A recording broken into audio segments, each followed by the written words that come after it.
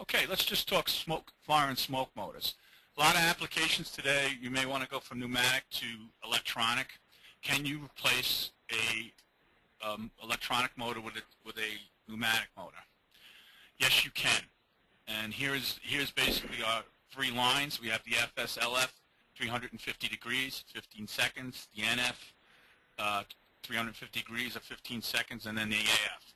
This FSLF probably is 85% of the time used in retrofits. Um, a couple of nomenclature uh, items from UL. UL doesn't really certify any replacement. It's basically up to the AHJ, the authorized, um, uh, I forgot the name of the uh, acronym. Um, I'll get I'll get back to it, but primarily it's either the building building code or the fire marshal who, who have final say, and and basically ordinary repairs on fire and damper uh, smoke dampers uh, need to be fixed. So you can change you, uh, Belimo motors. There is some uh, different uh, forms you need to fill out. Uh, you can get your call your industrial controls rep, and we can come in with Belimo. Um, this is a whole day's training in itself, but I just want to want to say that you can get into that business if you have customers that have failing motors or they want to go pneumatic to electronic on the uh, damp on the fire and smoke dampers. Please give give uh, industrial a call. The other last thing I'll just note on this are holding amps because when they drive open they hold and they're always powered. We are um, the, the, lowest uh, VA in the industry and as you can see from uh, we have a VA holding on the F FSLF at 3.5 and the next lowest was 8. Let's quickly go over control signals. Everyone knows we have all different types of control signals. These are, these are the items that tell the motor what to do. So we have on, on off, open, closed. We have three-point tri-state floating, proportional, which is a 2 to 10 or a 0 to 10 signal with feedback. Then the other ones were uh, priority um, applications that uh, different manufacturers came out with, which was pulse width modulation, phase cut. These items are, are out there. Are they that popular? No, but um, they are around, and we do have abilities to um, talk to those. Multifunction technology is a Belimo exclusive. What it really allows you to do is um, be able to change any of the input signals to the what to the signals I just spoke about. So we have the ability to talk to anybody's control system through multifunction technology. Do you really need to use it all the time? No. We have the SRs, which are 2 to 10, or everybody would think spring return, if you guys paid attention at the beginning of the training. And um, But MFT is, allows you to do a lot of different things um, on, on an application. So basically, I just went through the slide. Key other characteristics of MFT is we can actually change running time. We can have selectable feedback. So we can do volts VDC, which we, you can actually put your option in where you can program uh, 2 to 5 or however you want a volts input. Um, we have pulse modulation available. Floating point, on off. And you can also change how you want the feedback, schedule back. We also carry uh, some specialized motors for exclusive Honeywells who use a 0 to 135 ohm signal. And Barber-Colman had the old 6 to 9 volt use and state for control for phase cut. So how often, uh, Wes, do you see these now? Is it still pretty common out there? Well, in this screen, um, specifically on the Barber-Colman, I recall that when Belimo entered the valve retrofit market, that was the market that you targeted. There are Barber-Colman motors out there and still out there and still sold new that we refer to as beer cans. They look like a large Foster's beer can. And uh, they use that 6 to 9 volts.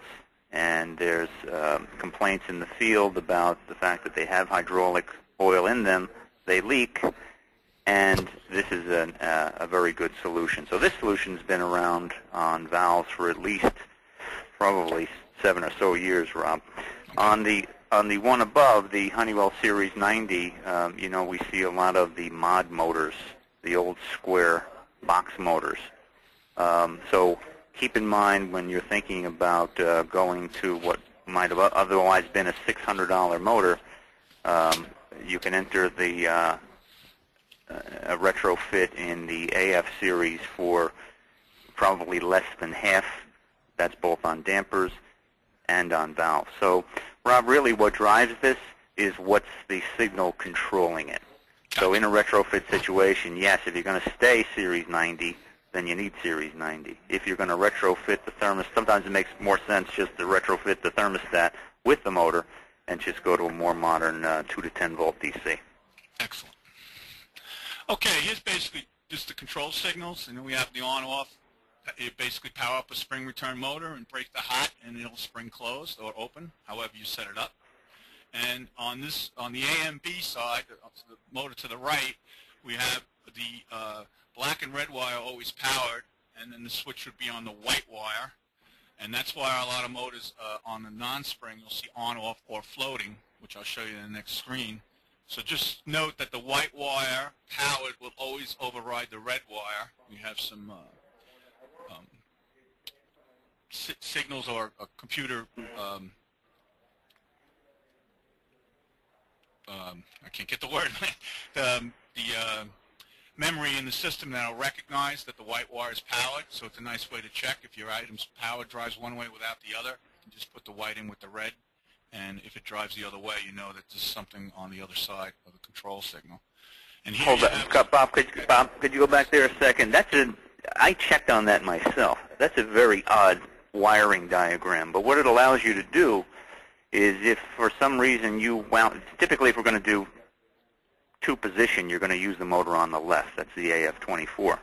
But if for some reason you had, or even with a pricing issue, where you do not need spring return, but you have a thermostat that's not a three-point or floating thermostat, here you can use something like a T87. That's just two wires, and operate driving it open and driving it closed. What's odd about this is, as Bob pointed out, you can put power directly on 2 and 3, and the motor will drive in the opposite direction.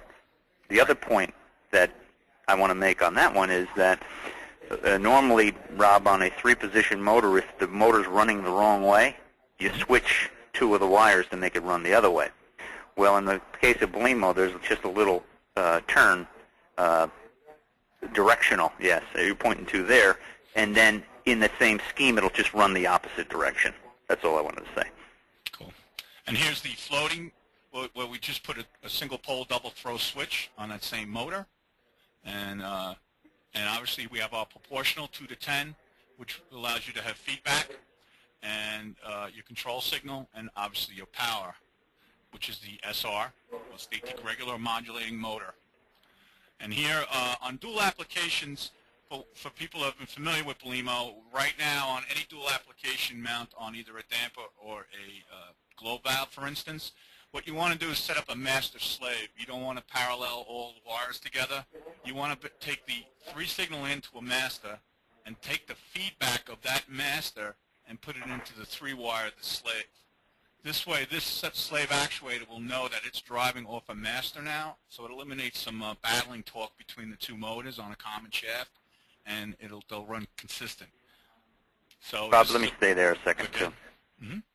Um, so what Bob just mentioned is that um, this is important where you have two actuators that are physically connected with one another. They're on the same shaft of a, uh, a damper or on the same shaft of a valve.